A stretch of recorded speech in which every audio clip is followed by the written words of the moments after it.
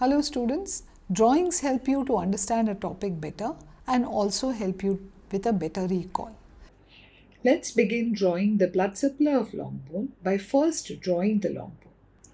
Cover up the ends of long bone with the help of articular cartilage on both the sides. Draw the epiphyseal cartilage clearly.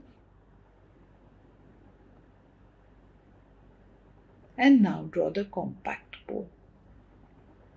With this we have some basic parts of the bone. Let's color up these parts quickly. That's the bone part. That's the compact bone. And that is your articular cartilage.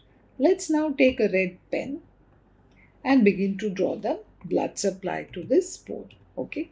So the first artery we're going to talk about is the nutrient artery, which as it begins to travel towards the bone becomes very tortuous.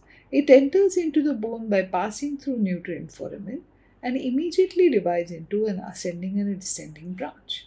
The ascending branch now gives out a lot of small branches that form such hairpin like loops in the region of metaphysis on both the sides. So you will find such loops in both the epiphysis at the upper end as well as the lower end.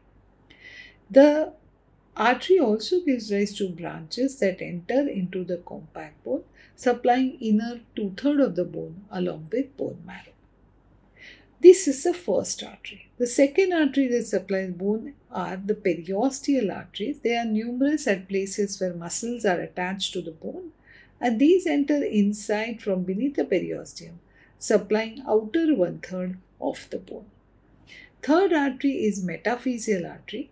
These are branches from anastomotic arcade around the joint. They enter into the metaphysis to anastomose with branches that are forming uh, that have entered into the metaphyseal region. Finally, the last branch, the epiphyseal artery, which is again a branch of anastomotic arcade or blood vessels around the joint, it enters into the epiphysis, supplying the epiphyseal region of bone, also participates in anastomosis at the metaphysis. Okay, so this, my dear students, is a very simple diagram showing you how to draw the blood supply of long bone. Now, all you have to do is add the labels, and your job is done. Thank you so much, students.